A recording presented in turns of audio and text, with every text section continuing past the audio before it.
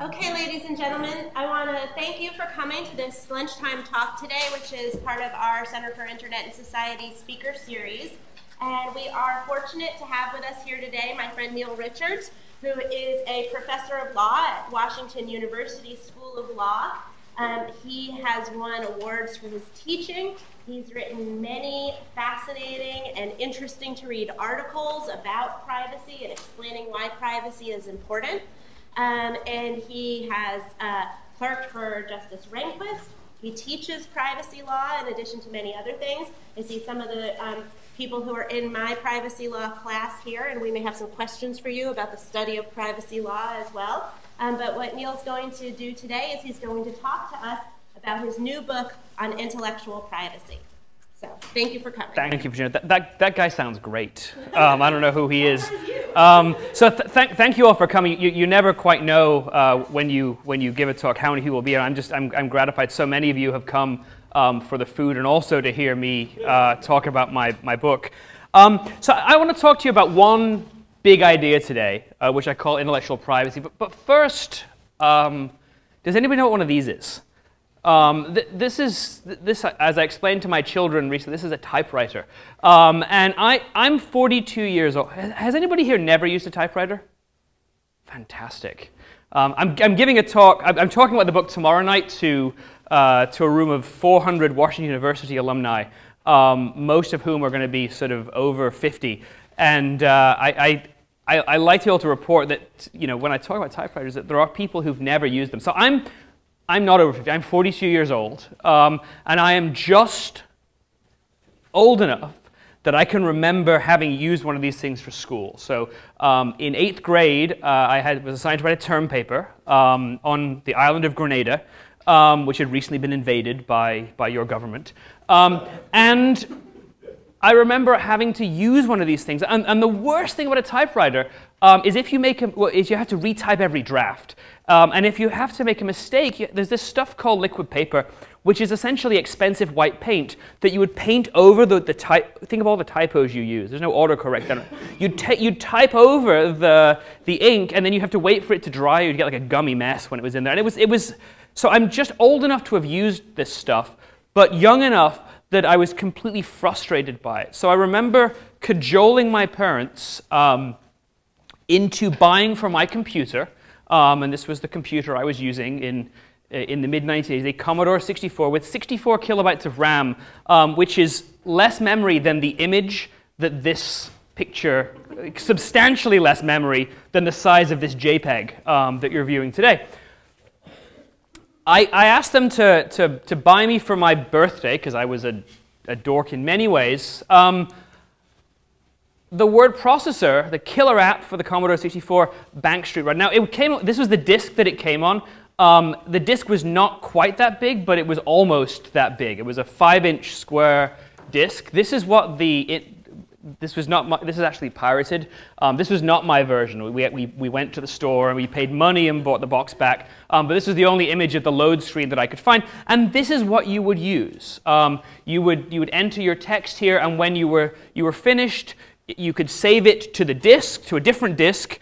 And if you were lucky, the disk would remember the, the data. Um, and so therefore, you'd be able to not retype everything. Um, and for me, this was, I, I like technology. This was, this was a wonderful uh, convenience. Um, but something fundamental happened in the switch, not for me, but for all of us, in the switch from typewriters to word processors, from, from paper to pixels. In our lifetimes, the technologies we have used to communicate, to write, to explore the world have moved from their paper equivalents, the, the, the letter, um, the newspaper, and the book, um, and they've switched into digital versions the email, the web page, and, and the ebook. And this is a fundamental change because these technologies. Uh, yes, they, they're, they're amazing. They allow us to, to communicate, they increase our productivity, um, they allow us to reach out to the world, to learn more about the world, um, but they are also unlike paper engineered by design to create records of their use. And that is something new. Um, we, we, tend to think about these technologies, letters, emails, uh, newspapers, as implicating the freedom of speech. And communications technologies do, and, and communications practices, of course, implicate freedom of speech, um, but they also implicate privacy, right? The privacy meaning the rules that govern the data, the information about us, about our reading, about our speech. Um,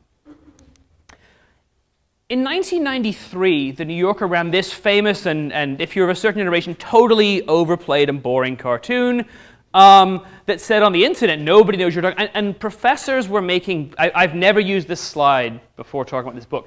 Professors were, were uh, Jennifer will know, really, really bad jokes. Oh, on the internet, no one knows you're talking. It was, it was so annoying. But the, the truth, the fundamental truth of this, why this was funny in 1993, was the 1993 internet was not engineered for detection. It was by design under TCP IP and under the web an anonymous internet. We don't have that anymore. The New Yorker ran this cartoon a couple of months ago. It has the same dogs. Um, they're slightly longer in the tooth. They've got more gray hairs. Um, and and, they're, and the, the guy, he's bald too.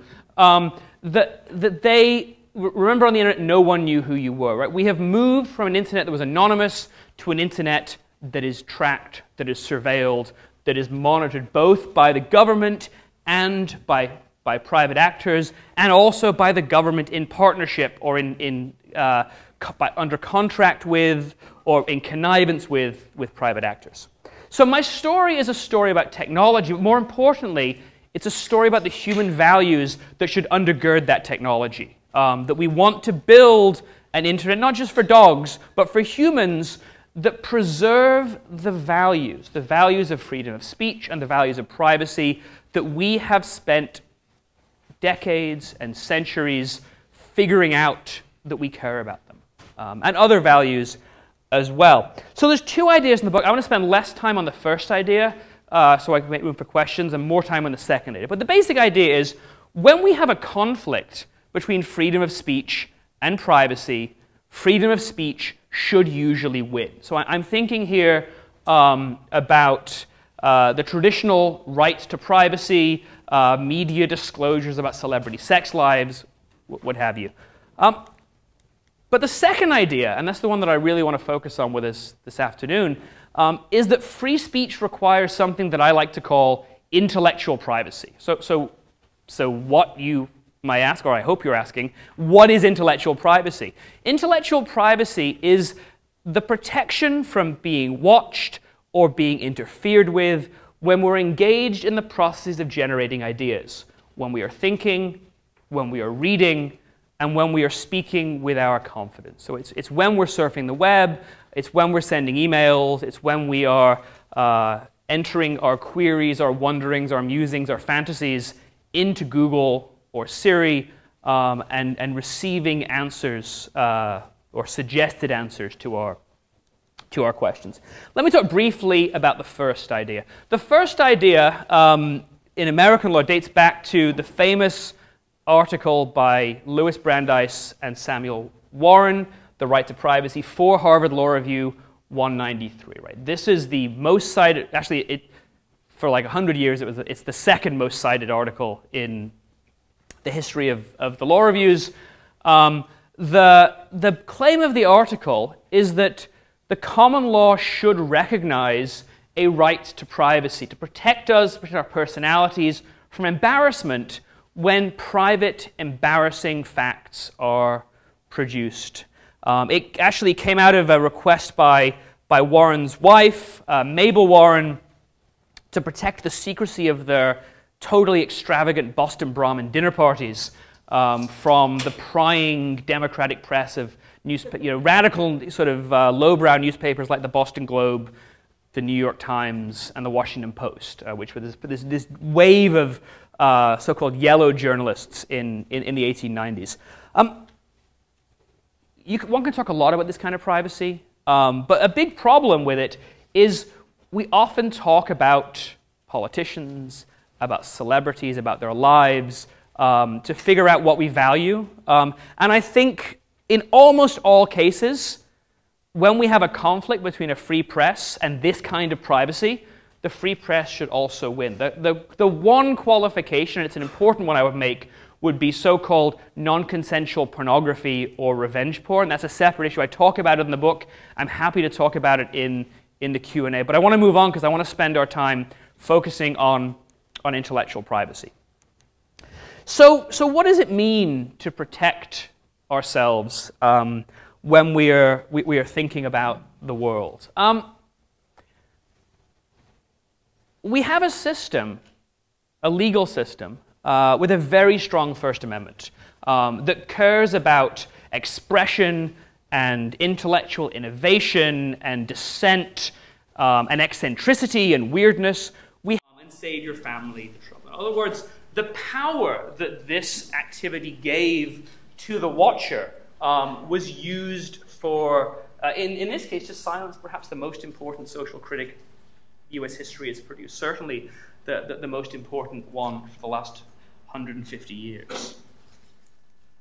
So let me talk about three uh, special dimensions of intellectual privacy and then talk about uh, what I think we should do to, to work on this problem. So the first has to do with, with thinking and, and the freedom of thought, right, being one of the fundamental uh, civil liberties that, that we have, just as Cardozo called it the, the indispensable condition of, of liberty. So, so what is this, is this girl thinking? Um, can we tell? Um, well, no, but we, we could ask her. Um, we asked my son, um, and he actually drew us this map. He came, he came from the he came from the playroom. Uh, uh, he actually did it entirely on his own. We didn't. This this wasn't like I need a slide for my talk, so could you like do this? He actually he produced this.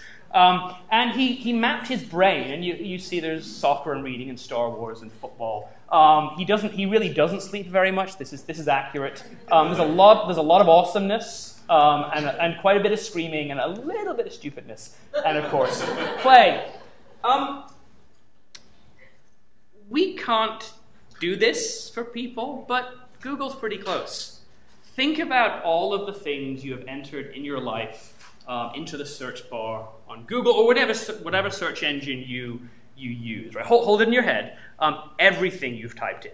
Um, everything you've wondered about, every kind of picture you've tried to look at, every kind of uh, piece of information.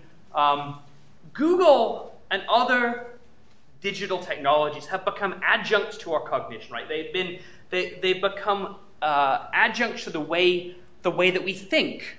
Um, but they also create something pretty close to a partial transcript of the wonderings and the wanderings of the human mind.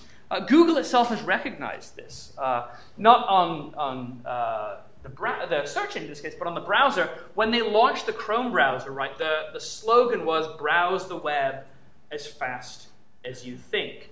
Web browsers, and particularly search engines, are adjuncts to our thinking. They create these records, and these records are special.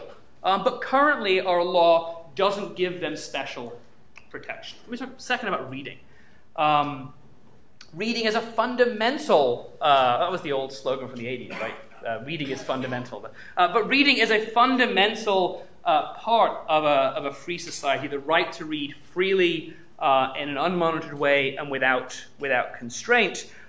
What is this woman reading? Well, if she was an English woman about three or four years ago, um, and she's reading on her Kindle, she was probably reading these books.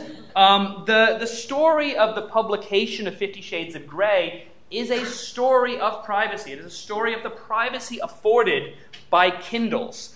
Um, they spread on Kindles because, as E.L. James's publicist put it, um, women riding the tube, um, no one knows what they're reading on their Kindles, right? They could be sitting there across from you on the London Underground. Um, if they're carrying a, uh, a 500 page heavy black book of, of badly written S&M fantasy, um, you're going to see that. Um, this, of course, though, is before the publishing sensation, right? This publishing sensation was possible because word of mouth and Kindles and Nooks and Kobos and other e readers allowed people to read these books.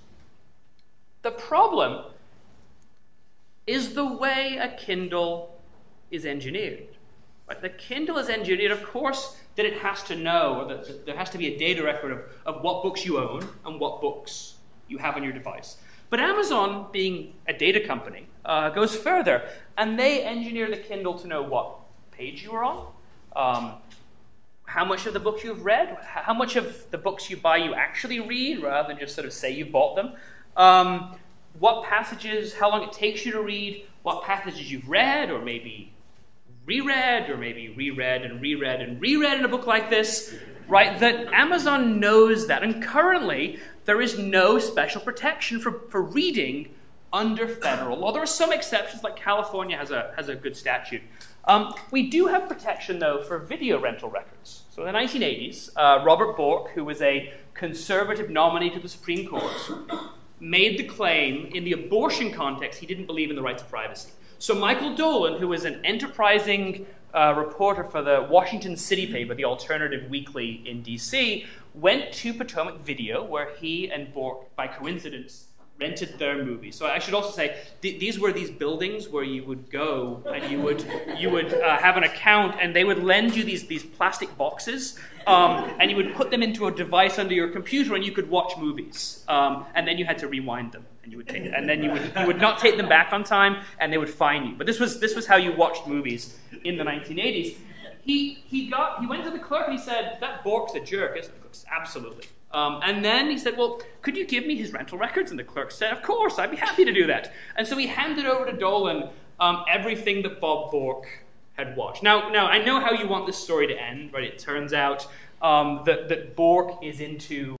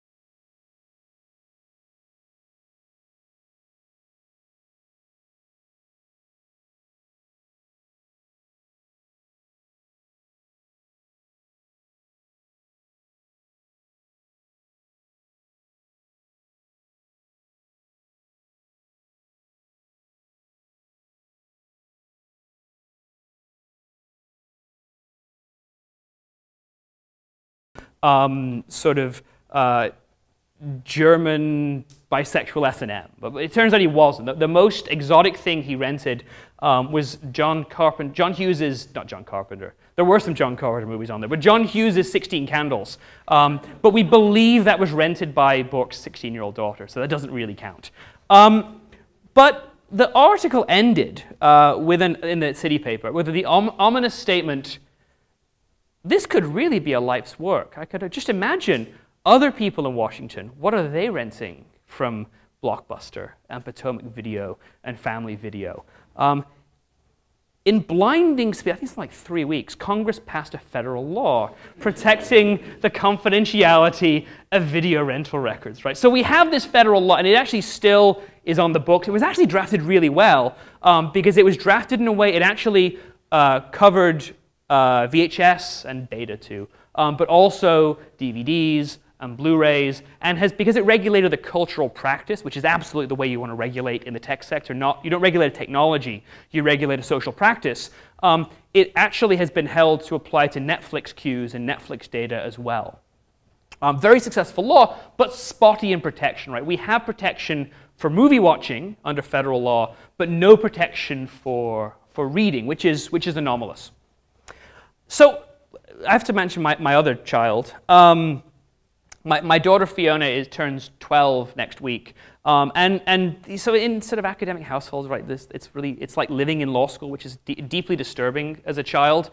Um, but we, we talk about things at the dinner table. And one of the things we, we talked about once, she asked what my book that I was working on, the thing that's keeping me up, up in the office so much, what's it? I said, well, it's about the, the privacy of, of reading, among other things. It's, it's so uh, people should have the right to read what they want freely. And she, I said, and she was only about 10 at the time, and she said, I think that's wonderful. It's, it, I think we should totally have that right. She's very opinionated.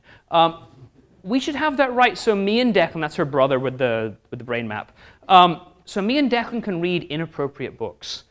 And I think that is, it, it's, a, it's a wonderful, I, I, I could not have thought it better myself, and, and I'm giving her credit because I don't want to plagiarize my own daughter. But this idea of inappropriate books captures exactly what it means to have a free mind in a free society. Right? It, it means there's no such thing as inappropriate books, unless you're my children, in which case, you know. But eventually, even they will be able to read inappropriate books, right? Adults should be able to read freely whether it is the writings of Ayman al Zawahiri, if such things exist, whether it is Mein Kampf, whether it is, though I don't know why you would want to, Fifty Shades of Grey, um, whether it's the, the Federalist Papers or, or uh, uh, Kim Kardashian's autobiography, right? The, the, we in a free society should get to read what we want, and we shouldn't have the tyranny of the social publicizing everything we are reading or creating the potential of publicizing everything we are reading, um, because that would turn our marketplace of ideas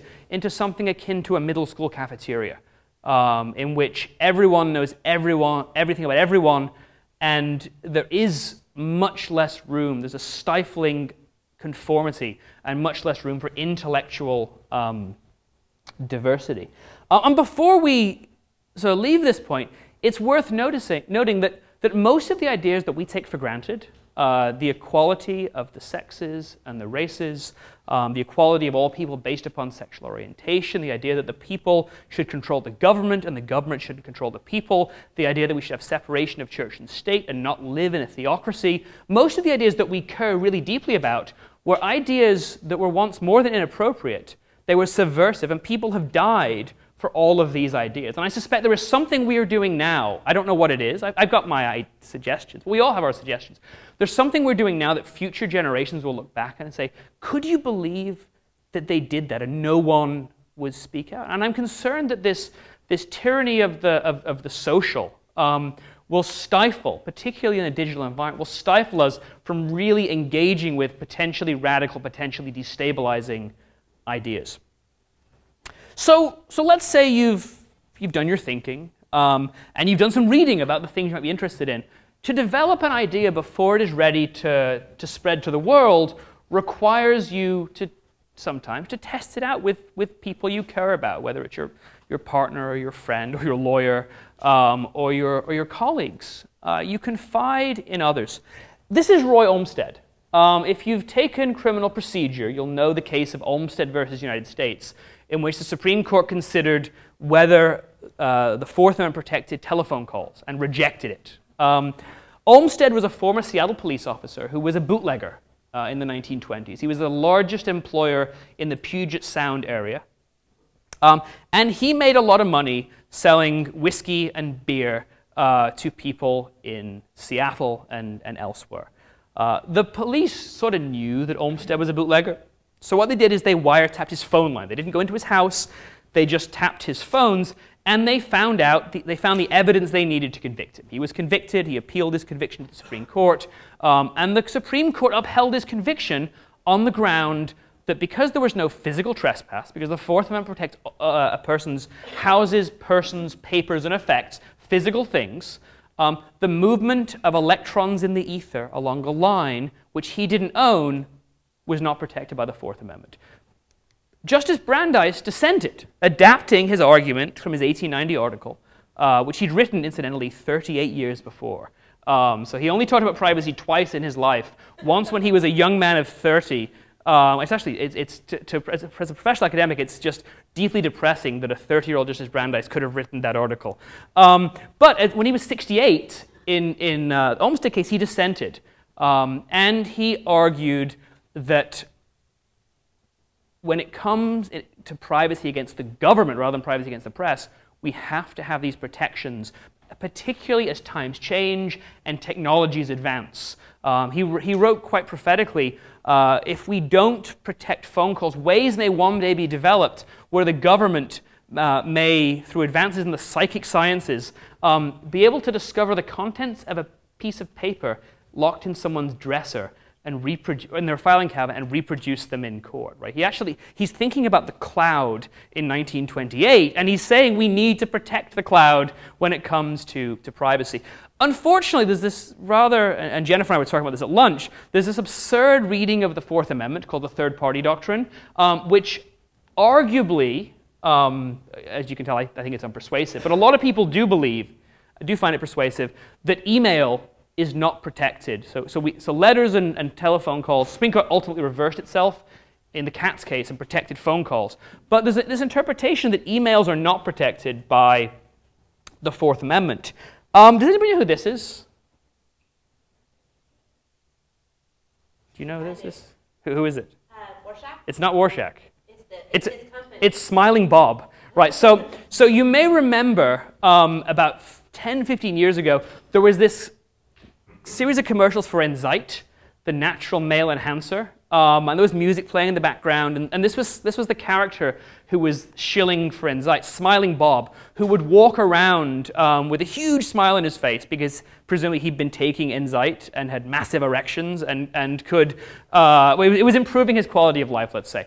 Um, so it turns out, shockingly, so don't, don't go out and buy Enzyte. Um, you can't actually anymore because the company's out of business. Um, it was all a fraud. It was one of these sort of herbal snake oil things. The real business wasn't uh, the, the, company, great name, Berkeley Nutraceuticals, um, run by Mr. Warshak and his mother, sort of a, a, a charming mother-son business operation um, for fraudulent male enhancement pills.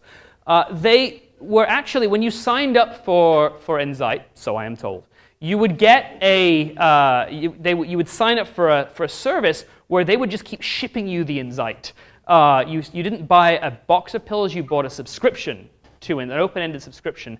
Um, and, and, shockingly, if you, try, if you decided this Enzyte actually isn't working, my life is not as good as Smiling Bob's, um, I want my refund, or at least I want to have no more pills, they wouldn't uh, cancel, right? And so the money was actually in this, this, this time gap um, between when you ordered and when you, that you finally persuaded them to, to shut it down. Um, they had a number of complaints with the credit card companies. They lost lines of credit. And in order to get new lines of credit on which the business depended, they made fraudulent statements in order to uh, get more lines of credit. Uh, they were investigated by, by the police. The police obtained, using uh, the, the ECPA, the Stored Communications Act, they obtained thousands of emails from Nuvox, their ISP, um, and Warshak and Mrs. Warshak were convicted. Now, they argued that the police violated the Fourth Amendment because they did not get a warrant before they obtained the emails. They only got a lower sort of administrative subpoena or a court order to get them as required by the Stored Communications Act. And the, Supreme, and, and the Court of Appeals, not the Supreme Court, Court of Appeals, held that emails culturally are like phone calls and they are like letters. They are an important dimension of communications privacy. They are important, they didn't get into intellectual privacy, but it was, this theory certainly consistent with the intuition the court had, even though that it couldn't quite articulate it in these terms.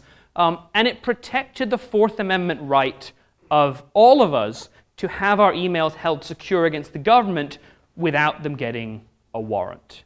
And then, in a, in a, in a bizarre twist, it said, but the police couldn't have known that. So we call this, in this particular case, it's harmless error, um, and the Warshaks go to prison. But now all, everybody else um, gets Fourth Amendment protection for their email. So, so thank you, Mr. Warshak, for protecting our civil liberties. Have fun in prison.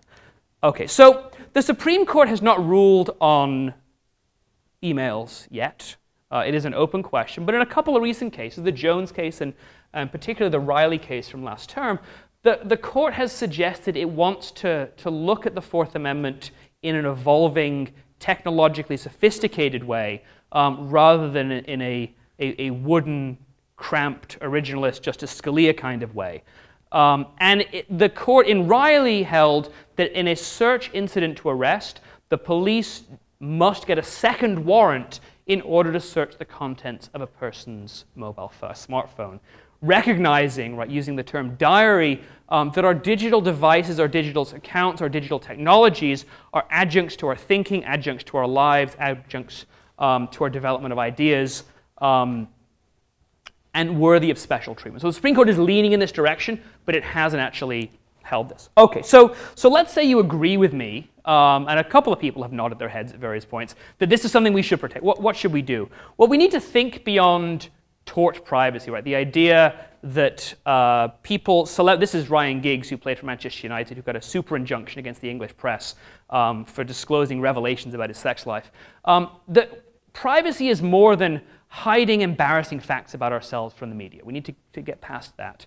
And we need to think about protecting intellectual privacy through law, things like a federal uh, uh, Reader Data Act, Data Act, the way we have a federal Video Privacy Protection Act.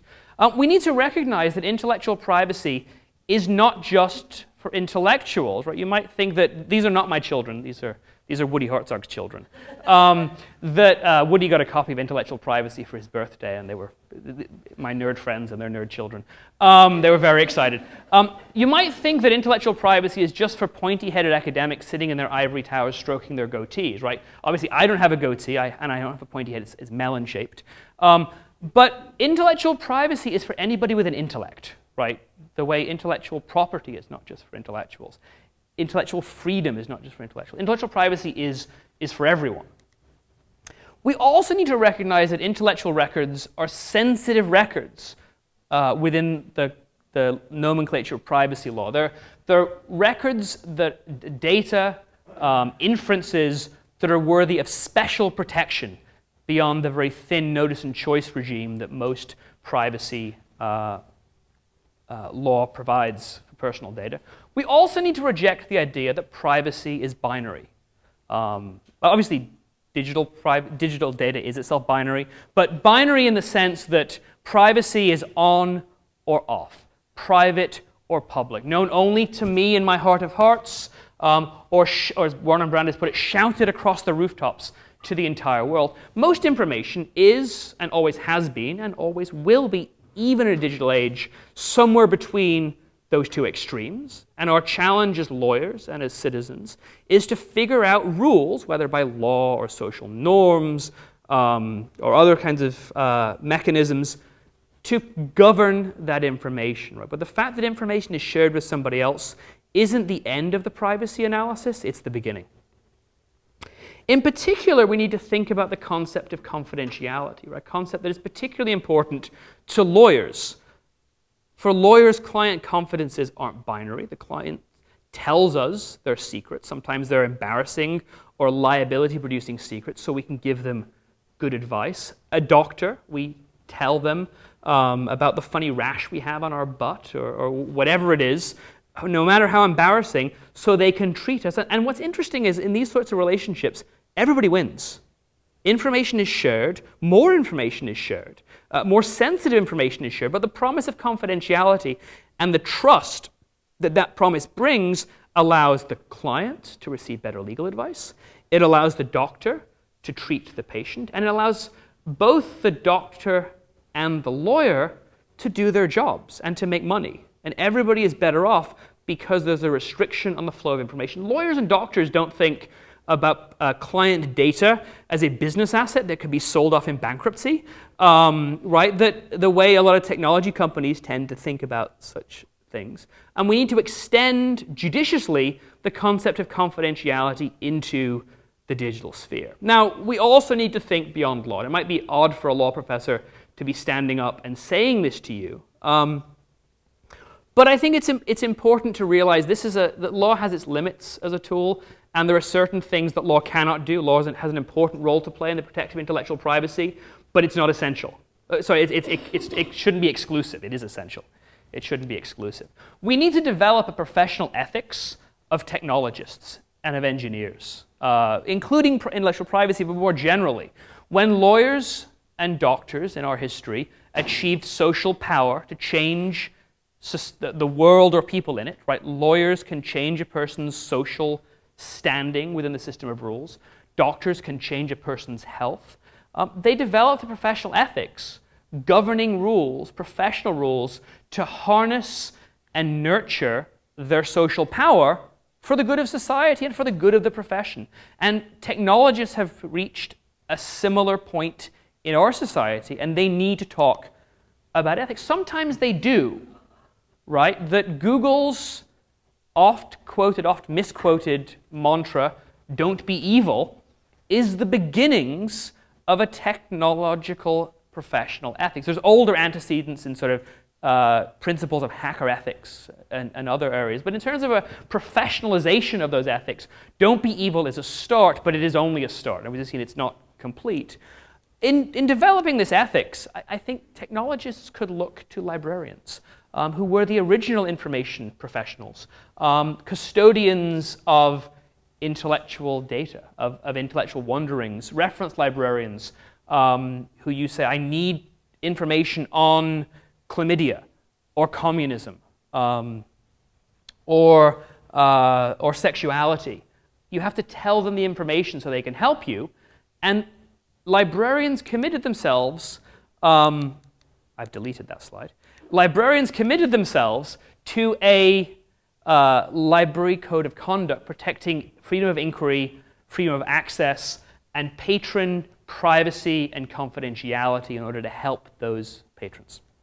So, in developing an information ethics, there are a number of developments we, we, we've already seen. We're starting to see businesses compete on intellectual privacy. Um, of course, there are the famous Mozilla privacy principles. Um, limited data collection, weird as that may sound given the big data rhetoric that we are bombarded by every day, um, putting users in control, giving them real choices, making sure there are no surprises. Um, I'm sure you know about DuckDuckGo, the uh, alternative to Google um, as a search engine that operates on something other than finely grained individual surveillance um, and actually works rather well. In addition, I think it's important for technology companies um, not to always take the Steve Jobs approach of, I have invented something awesome, I just now need to persuade people that it's what they need. Now, it did turn out that, a, that an iPod uh, that, that also was a telephone was a really good idea. Um, that was good. Um, but the way, and it's not that innovation is bad, but it's the way it is sold, right? So, so the, the example here, right, if you tell someone we want to invade your privacy, that's bad. But if we want to make it awesome and, and have an MP3 player attached, um, and we're just bundling in the, the privacy invasion as part of the service, um, I think is, is ultimately dishonest. And, and, I think we need to, as consumers, um, see through some of these, some of these ruses and demand uh, intellectual privacy for ourselves. Uh, one of my favorite authors, the Anglo-American novelist Zadie Smith, put it really well in her review of uh, Jaron Lanier's book, You're Not a Gadget, and the, the movie The Social Network in the New York Review of Books a few years ago. Uh, Smith said, In the Anglo American world, we race ahead with technology and we hope the ideas will look after themselves. And I think my book is an attempt to introduce one of these ideas into our technologies, into our social practices, um, before the social practices themselves normalize and it becomes too late. And I think that as we develop new technologies and as we develop uh, social practices and laws to regulate those technologies, one of the values we should be sure we are building into our digital society um, is a heaping helping of intellectual privacy. So, thank you.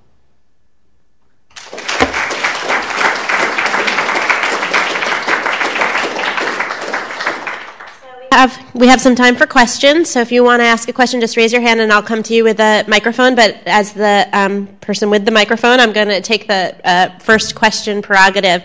Um, and uh, you know, one of the things that I think is so exciting about this talk and your book is, you know, in our privacy class we are talking about this. So much of privacy doctrine and theory is actually being developed right now unlike many of other areas of law where the doctrines were developed long ago and we're sort of studying them or tweaking them, there's so much important stuff going on now by um, scholars who are actually practicing now, like you. So thanks for coming and talking about the book.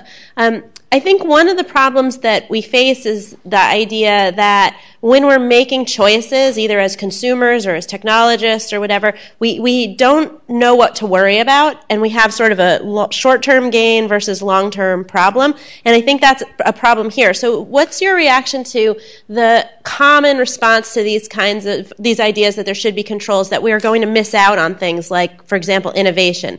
Don't you? I want to know that if I've read these three books, I'll probably like this fourth book. Or I think in the area that we're starting to see intellectual property property maybe become most under pressure with students and student learning now that we have more like homework on devices and tests on computers, huh?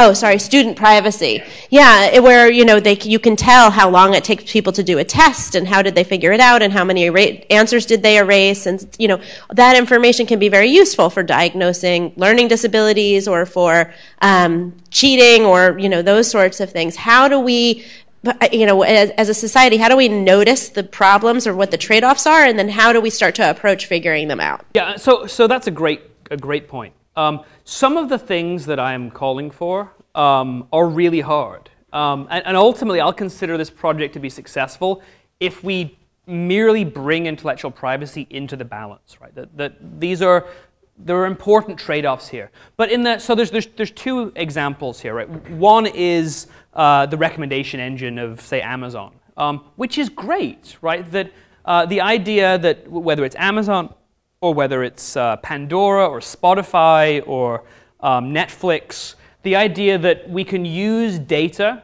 we can use algorithms to apply data learned from past instances to make predictions about future behavior, in this case, intellectual behavior. I think that's incredibly valuable. I mean, I think um, the, and it's just like the reference librarian. Um, so when that data is being used to enhance the, the intellectual or the entertainment experience, um, if it is being used as the businesses tout it for your benefit to make things more awesome, as my children would say, I think that's good. Um, but I think the fact that the information is collected for that purpose doesn't necessarily then mean it can be used for any other purpose. And I think it's important at that point to draw a line and say, okay, so Amazon or Spotify or Pandora or Netflix, you have the data and you've used it to help the customer, and they've also incidentally bought more crap from you. Um, so that's good for you. But to then say that that data flows into an undifferentiated stream of, of business assets, I think we should at least have the conversation about whether we want, that we want to then draw a line. Um, because the conversation we're going to be having about data generally is what lines do we draw and on what basis do we draw the lines. And we're going to need to draw some lines, if only for you know, the prevention of, of security data breaches and, and, and that sort of thing. Uh, we're going to need to come up with norms and rules to govern the flows of data, and I think intellectual privacy in the case of entertainment is, is one place we can do it. In the education context, I, I agree with you in, in, entirely. I think it can be, it can be quite useful um, to have this data. It's interesting, too, when we talk about children, we're much more willing uh, as a society, even in um, the sort of Randian influenced tech sector to say, well, children are different because they're not fully autonomous humans and not rational. Um, I think actually we're all a lot more like the children we want to protect when we're using devices than we like to admit. But putting that to one side for a moment, when we're using things in, in the context of technology, it absolutely is, is useful. I would say two qualifications. Um, one, we do want children to grow up into adults um, who have values of, of things like intellectual freedom. And, and so we don't want to necessarily, we want to allow children to develop in ways, as we're trying to do with our kids, uh, where they do get some autonomy and they do get some privacy as they are ready for it. And I think uh, sort of helicopter parenting, always on digital surveillance of children all the time, is horrifying and it will produce a, a very, very bad result for us. I would say the other, the other qualification um, is we do want to be careful in education that we don't make everything about data, right? I, mean, I think we've seen in the case of, of testing uh, and the obsession with testing and the obsession with measurement that that's not always the best way to, to educate children. And the solution to ineffective testing and measurement, I don't think is, though it is politically easy, more data and more testing and more measurement. So I think it's important also not to fetishize the technologies and ultimately to, to look at them as what they are, human created tools um, that are built by humans to serve human purposes and should be embodied with, with human values. And, and intellectual privacy isn't the only one. Um, equality, economic opportunity, uh, you know, other, other values are important, but this is the one that I've, I've chosen to spend the last few years thinking about.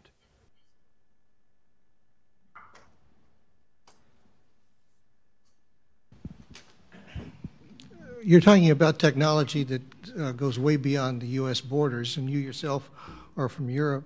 Can you reflect on uh, attitudes toward these things outside the United States and how they're different from here? So, so that my book makes two claims, right? One, when free speech and privacy conflict, free speech should always win. And second, we should care a lot about intellectual privacy. When I go to Europe, um, I am castigated for being far too free speech. Um, and, but they generally agree with the intellectual privacy argument. Uh, I think the, the attitudes towards uh, data and privacy in Europe are much more complex. I, I think Europeans care more about uh, individual privacy. You know, it varies across countries and it varies on what kind of data we're talking about.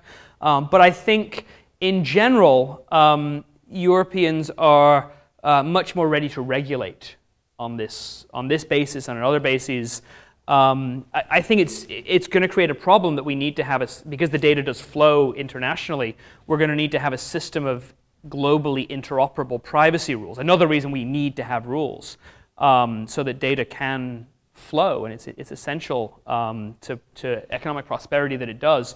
Um, but the Europeans in general are much more ready uh, to censor the press uh, because uh, celebrity affairs are, are being publicized, uh, Europeans are also much readier to, to regulate technology companies. Um, and interestingly, we're actually seeing with things like the Google Spain case um, and, and the Gore Vidal, not the Gore Vidal, the Vidal Hall case against Google, it was decided in Britain a couple of weeks ago.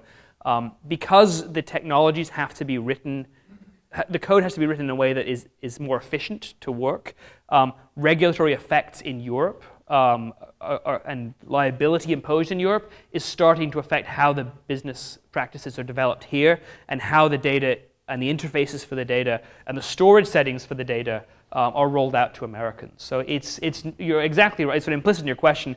We can't just talk about American rules here because even though the US is the most important player in the digital economy, um, other jurisdictions are, are increasingly important and are increasingly demanding um, you know, other sorts of protections and rules apply, including intellectual privacy. That uh, uh, I, I, don't want to sound like Hasselhoff, but it, this is bigger in Germany. Um, Hi, um, I'm surprised you didn't mention the Internet of Things at all in your talk, uh, because there's been a lot of things written in privacy about how there's soon going to be, you know, many billions of devices constantly monitoring us in all sorts of ways. Uh, so how do you see that influencing your your argument here? That's a great point. So I, I didn't mention the Internet of Things because I wanted to leave, leave time for questions. But the IoT is, is a tremendously important development, sort of the next phase of the networking of society to put sensors and network chips and, and data recorders in everything. Uh, maybe not bottles of water, but maybe bottles so I can, I can measure my uh, liquid consumption over, over, the course of the day. Um, in, in, my privacy law course, we've talked about two of these things recently. One is the Samsung Smart TV um, that is voice activated and can is needs to record data uh, in your living room in order to um, uh, upload it to the cloud to recognize it and improve the speech recognition algorithms. Um, incidentally, right, the, the, Kinect has been doing this for, for a long time, but Microsoft keeps the data on the device rather than automatically cloud uplinking it, which is a good design choice that's protective of intellectual privacy. Second is Hello Barbie. Uh, which is this, uh, it's Barbie plus the internet. So this idea, right, uh, and, and living where you do, you must hear it, X plus internet equals awesomer.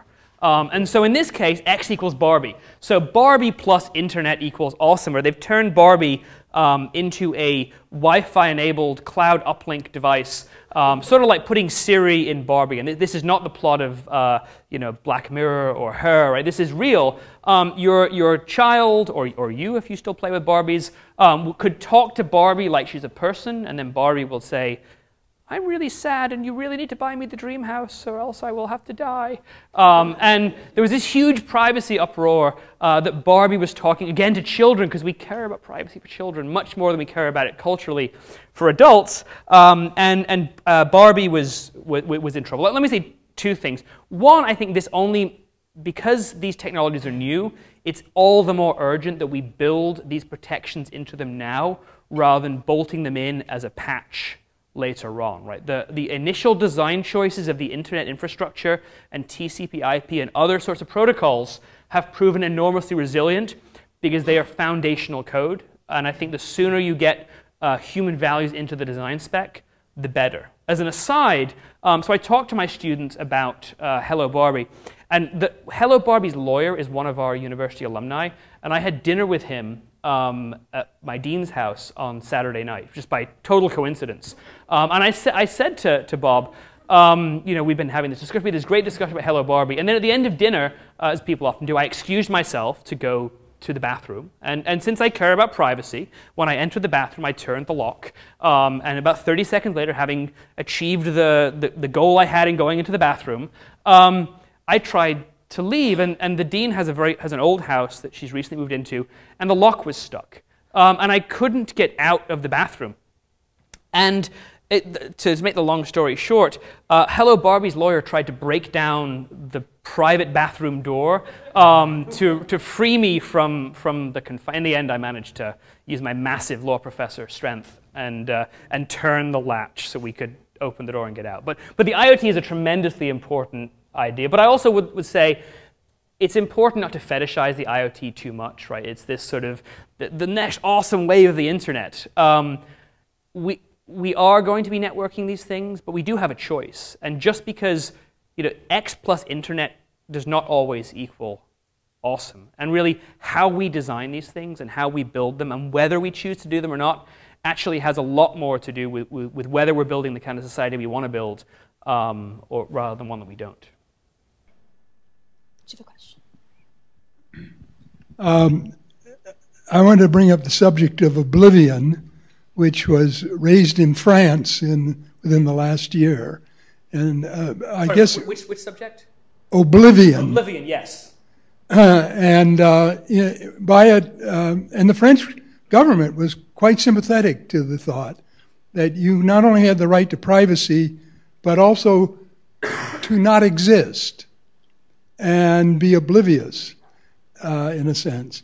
And so, as you write about uh, privacy, uh, you, there is this competing uh, extreme of privacy, and I'm curious what you think about it. Taking also into account that the European nations collectively uh, put together what's now called the Budapest Convention, which uh, says how long ISPs must store the data on you, who you've written to, and the content thereof, in order that they can access it if they need in the name of criminal prosecution for some period of time, which runs uh, quite counter to oblivion. So, so the short answer is it's complicated, but it's, it's a great question. So there's two things going on here. One is le droit à l'oubli, or the right to be forgotten, um, which it's often called, which was in the Google Gonzalez case. Under the old directive, it's going to be implemented most likely under the new European Data Protection Directive. But there's also these data retention rules, um, usually for government or national security purposes. Um, I would, I would say this since we're, we're I, I, we, I would be happy to talk about this for like two hours. It's, it's, a, it's a great and rich topic. But the point is, first of all, as I said, we're going to need to figure out what rules govern data. And the, and the death of data, or the, what uh, people in the industry call the information or data lifecycle, is a tremendously important concept, right? How long do you keep data? How long is it useful for? At what point does data collected for one purpose um, get to be repurposed for another, or get to die, or be made to die, or deleted, or to be preserved for, for a permanent record? Um, I think the, um, the data retention uh, portion of this, so I think I've talked a little bit about Oblivia. I think the data retention is threatening to civil liberties. I mean, I, I think it's, it's part of this a great irony of, uh, of security services rhetoric, uh, privacy for us, but not for you. Uh, the idea that uh, entities like GCHQ or, or the NSA uh, want to pry into our lives and to have sort of unmonitored access, unfettered access to their monitoring um, and to have the data preserved to make their jobs easier. At the same time, their very existence, if they would have their way, would be secrets. And in any event, their operations are shrouded in various levels of, uh, of legal and technical secrecy. I think these are the conversations we need to be having about the right balance for all of these things between privacy and, and transparency, between restriction and between access. And it, when it comes to the right to be forgotten, I think it's, it's one thing, and it's probably a very attractive thing to say, that at some point data outlives its usefulness or becomes too risky to retain, whether it's through data breaches or incorrect uh, outputs and algorithms, and we should dispose of it. Um, on, on, on the other hand, uh, if we allowed people to treat the internet as their own personal Wikipedia and to delete anything about them that is unflattering uh, or unfavorable or embarrassing, I think we run into serious censorship concerns. So I, I think we have to navigate between those two, uh, those two perilous areas. And, and ultimately, that's, that is being humans living in a society, is, is trying to have uh, the most of what we want um, while minimizing the dangers. And ultimately, I think, it's probably a good point as any to end on, um, the big challenge facing us all uh, in, these, in these areas is how to find and develop and seize the enormous benefits of these transformative digital technologies while minimizing as much as possible a lot of their dangers. And I, I think that, that my, my efforts in intellectual privacy are, are best understood along that direction. Um, but I think there are many other areas where we're going to have exactly the same value clash. And we have to, to make our way through to build the kind of digital society that, that we all want and makes us better rather than the one that is most convenient or most efficient. Thank you, Neil. Thank you.